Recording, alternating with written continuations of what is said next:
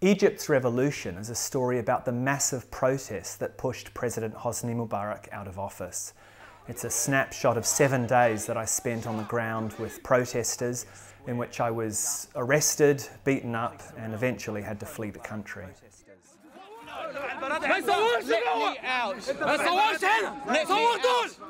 The most dramatic moment was actually still when I was trying to get out because SBS had arranged for a security guy to meet me at my hotel early morning and escort me past the military checkpoints to the airport.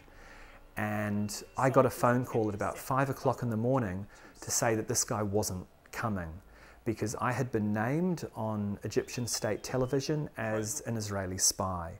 And he no longer felt safe being seen anywhere near me. And that was when I thought, holy shit, like if the security guy doesn't feel safe with me, how the hell am I going to get out of, of this hotel?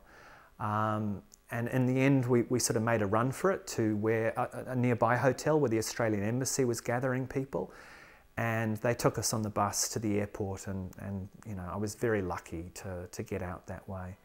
Looking back on that week now is often quite painful just because of how high the hopes were for all the protesters. There was one young student leader who'd said to me that once he goes, once Mubarak was gone, everything will be fixed. Um, and of course the army is still in charge and it, it wasn't that simple. On a purely selfish level, I feel amazingly lucky to have this job. Um, I get to hang out with convicted murderers in Italian prisons who are cooking gourmet five course meals. I miss my flight from Timbuktu and spend two days on a desert safari with a family of Tuareg. I hang out with candidates for Tunisia's first democratic election or uh, the Rwandan Olympic team when they were preparing for the London Olympics.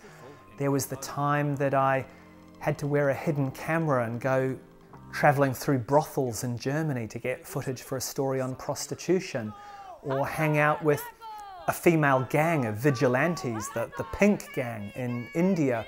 And probably the strangest shoot I ever had was when I went to a small island, the island of Tanna in Vanuatu, to celebrate Prince Philip's 89th birthday because the tribe there believes that Prince Philip is in fact an ancestral spirit and they were expecting him to return for his birthday.